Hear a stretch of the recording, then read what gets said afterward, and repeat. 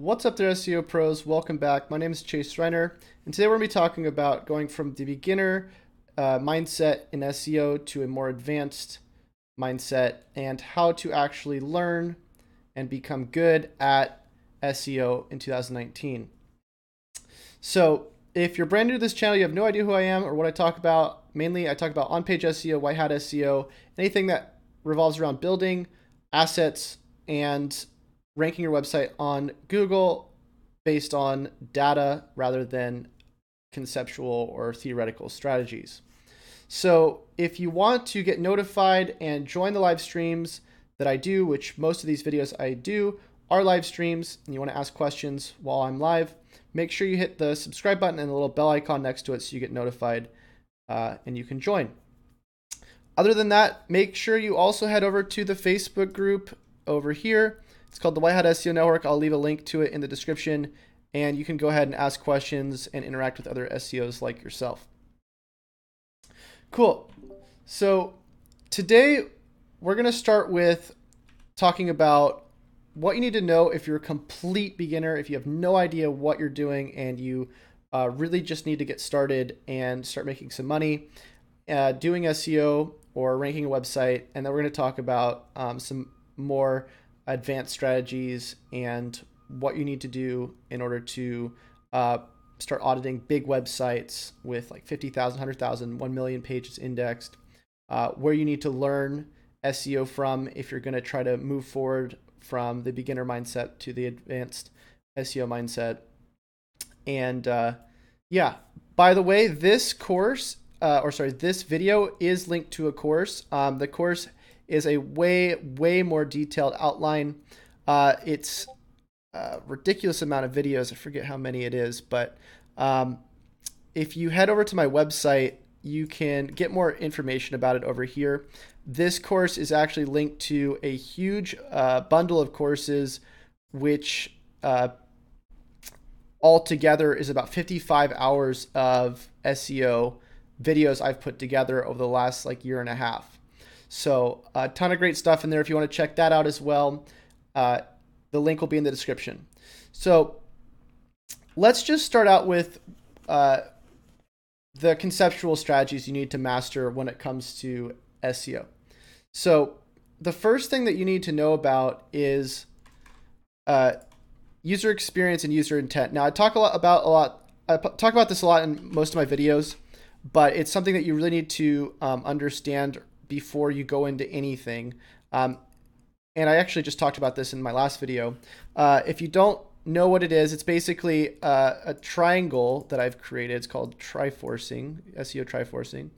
Uh, and what we have here is we have user intent, user experience. Let me just abbreviate that user experience. And we have, this looks like it says sucks user experience, and then authority. Now, you need to be able to focus on all three of these to bring in a really sustainable SEO strategy. If you don't know what I'm talking about here and you want a really uh, good detailed answer, I'll leave another link as well to a video I just did yesterday talking in more detail about what this means. But ideally, you want to match what people are looking for based on what they're intending to find with the best experience possible for that intent, and at the same time presenting it into the to them in a way that you have the enough authority to be able to rank for that topic. So, once you've grasped that uh, sort of concept, what you need to know is uh, really just on page basics to start out with. That's where I recommend most people start. Um, a couple uh, things that you need to know about on page is that you can really easily break down your uh, uh, on page skills by going to Sitebulb, which is a, an app for Windows and desktop, I, uh, Windows and Mac, I also I believe. And uh, what you could do is you can go into a site. Let's just say I go to chasereiner.com and I do a scan. Start new project, Chase Reiner. Chase Reiner.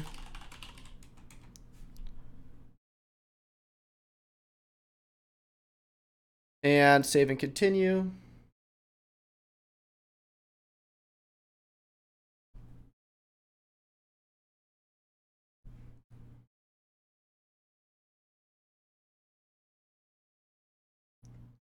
Okay, so here you'll see the audit that you need to run. Um, basically, you can connect this to Google Analytics, Google Search Console, and some other stuff. But for the moment, um, we're just going to let it run like this because you don't need all this stuff, but it is sometimes helpful to do. Uh, and then you're just going to press Start Audit. Now, I've already done this on my own website, so I'm going to go into it. And I'll click into this. Now, any page that I want to rank higher on Google, I can look at it from an individual level. So if I go to, let's say, my homepage, chasereiner.com, and I go look at that page, it, this tool is going to show me a bunch of stuff that's going on with this, the page and give me hints to make it rank higher. Now, you can see here it doesn't actually have any hints. Oh, actually, here it does. Hints right here. Uh, for some reason, I, I, thought it didn't because there was no, there's usually a notification at the top. Um, so if you click on hints, you can see all the different things that needs to be fixed. So head contains a no script tag, URLs where the head contains a no script tag. You need to be very careful. Um, has images missing alt text, boom, boom, boom, right? So I can just do this on an individual uh, level. Um, I can also look at other parts of the content. So I can go to on page. It'll show me the meta description. It'll show me the title tag. And by the way, if you don't know what this stuff is, uh, meta description and a title tag is basically what you're going to be seeing um, on Google. So you can specify in your actual web page um, what you want to show to Google uh, with a title tag and a meta description. And the way you edit that is with a tool called Yoast, or depending on what you're using, you might not be using WordPress, but um, if you're using WordPress, you would get a tool like Yoast or any other tool uh, that lets you change your uh, heading and meta description. Let me just log in. Okay, sorry about this.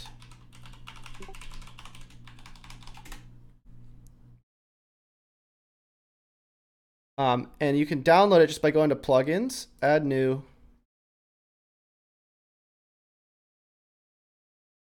You click on this, Yoast, go get it, install, and then um, when you go into your page, once it's set up, it should let you be able to just go ahead and uh, change your title and meta description. So edit page.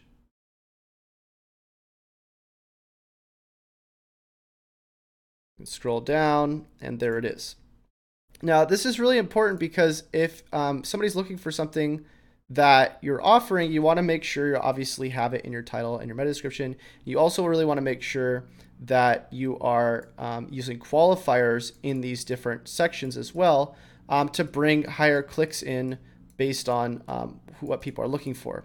So um, the way I do that is with something a little bit more complicated called uh, benchmarking, SEO benchmarking. And I actually had somebody make me a tool. I paid a lot of money for this so that I can pull averages off of Google and actually see what people are mentioning the most and then include that in my titles and in my meta descriptions and in my content. But we'll talk about that more later. So um, going back to Sitebulb, uh, we can go into other things like duplicate content, incoming links, and, and this stuff's really good to look at because all of these different sections are somewhat of ranking factors. So the amount of outgoing links you have, the amount of incoming links. But the way I base all of this, besides the technical knowledge or the you know on page just uh, things that you're going to need to know, is based off of um, really just the average. So again, the way I pull the average is with this tool. And what I'll do is I'll go and I'll look at what the average word count is for a given keyword. So let's say I want to go for SEO, uh, beginner to advanced SEO tutorial. You can see the average word count of my page is 1,000 words. Um, the average top 10 ranking uh, pages on Google are 7,344 words. Uh, images are average 21, so on and so on.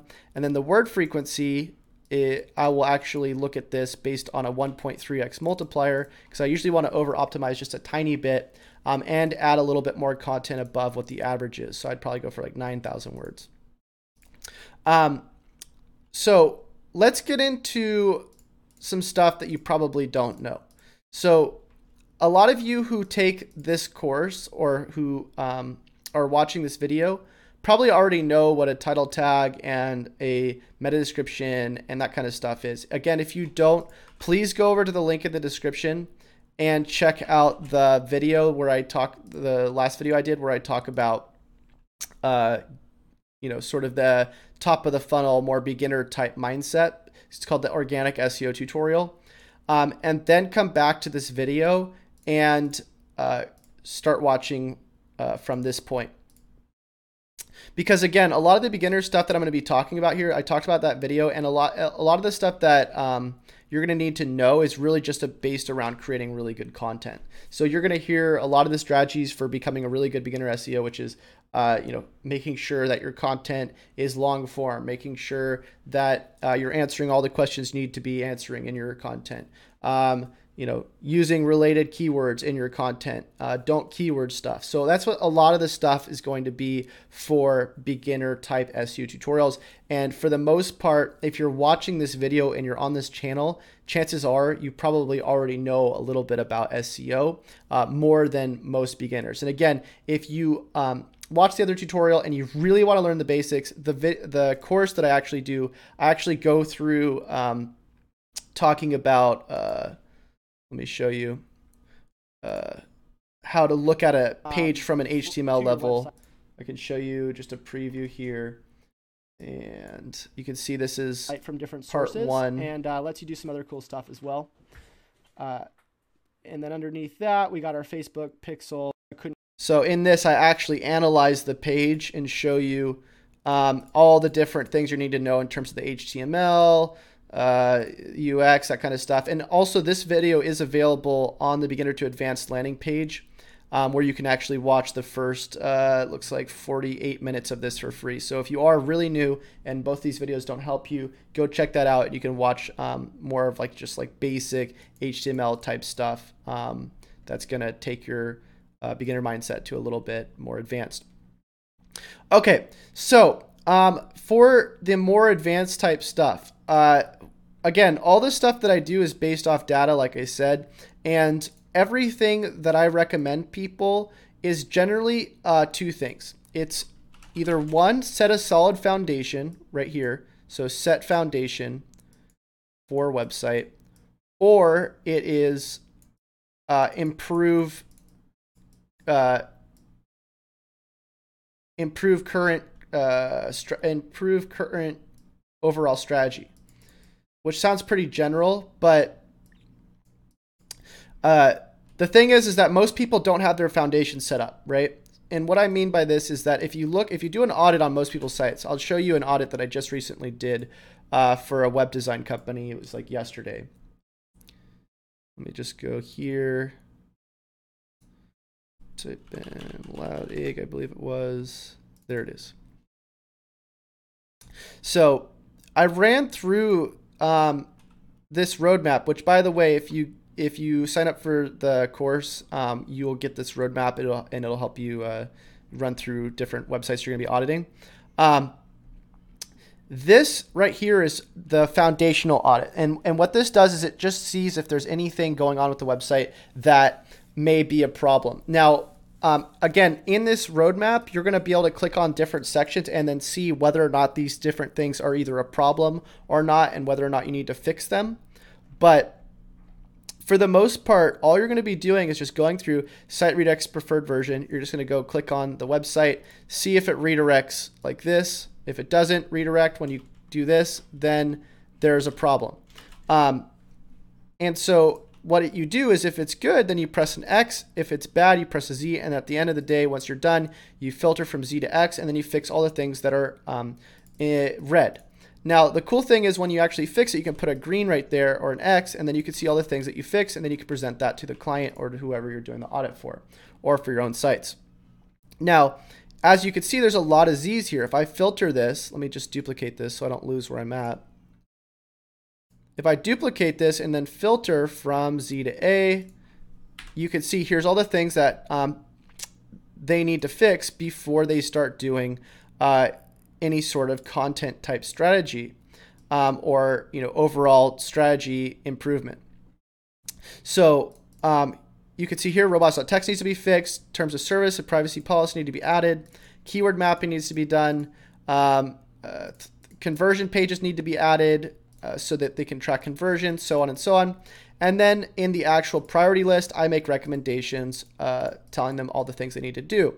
But the thing is, with this section, this isn't going to completely cut it because as an SEO, you need to sort of be a detective. So, um, depending on what type of site you're going to be working with, there can be a completely different set of problems than another site. And you really want to be optimizing, again, uh, for not only the user, but for also uh, increasing the overall amount of money that the site you're working with is making. Now, how do you do that? The way you do that is with the system I've created called benchmarking. So uh, if we go into a benchmark, you can see here's all of the different metrics that you're going to want to know about when it comes to ranking a site higher. So literally anything that isn't a technical aspect that is going to have to do with on page and a little bit of off page is going to be included in this benchmarking sheet. And I'm going to show you how.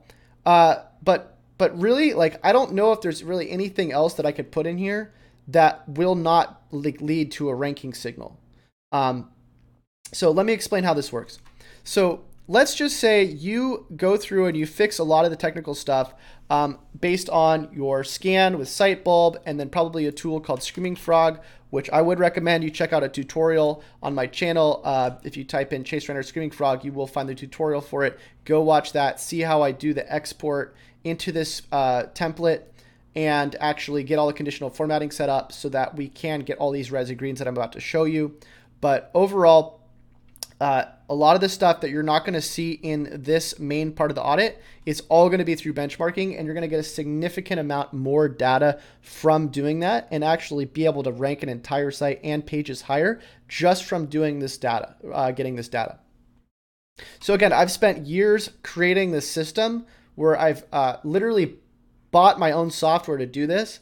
Um, I've used uh, different metrics from different sources like Ahrefs, uh, Screaming Frog, uh, Search Console Analytics, and I've combined them all into one place, uh, as well as social signal checkers, so that I can literally see on a page by page basis what do I need to do, and then what sort of reoccurring themes are going on with these pages that are probably going to apply to other pages.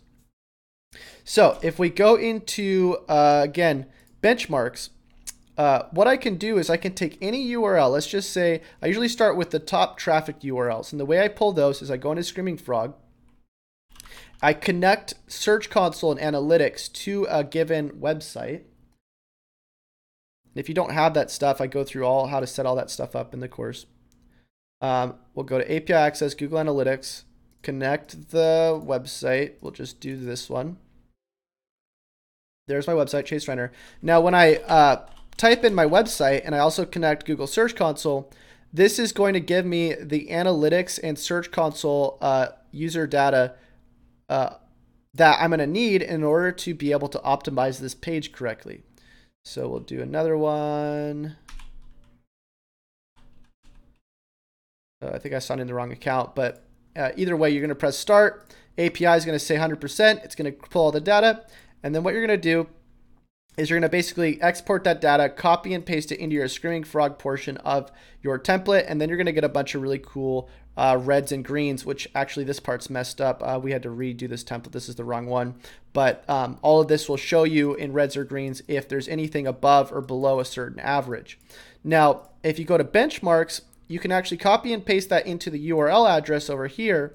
And then what you're going to have is you're going to have all of your URLs uh, filtered by clicks, which all you do for that is just go to clicks, filter right here. And now you're going to have all of everything sorted by clicks, um, which URLs are bringing in the most traffic. And you could start grabbing these URLs and plugging them into Search Console. So go to Search Console here, start now, open report. Or sorry, I was supposed to go to Loud Go to here.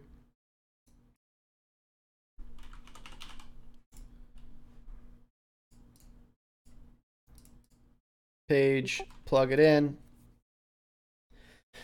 All right, so now we can actually see what keywords bringing in the most impressions um, which is this one, how to make a business card in Photoshop, ranking 9.6 on Google, and it only has one click. So I'm going to copy that in to here, and then I'm going to copy all of the user data.